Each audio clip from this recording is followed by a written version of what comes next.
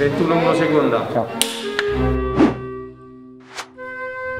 Il mio personaggio, il principe a Caramboni, è un nobile spiantato senza denaro che ha bisogno di piazzare in qualche modo la figlia perché attraverso questo matrimonio potrà continuare a vivere da nobile perché io non ho una lira.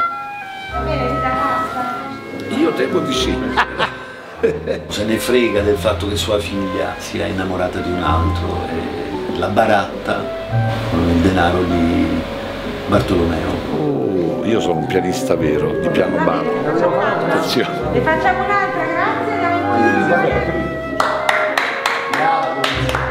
Il mio rapporto con Roma è un rapporto di odio e amore, quindi è un rapporto dialettico.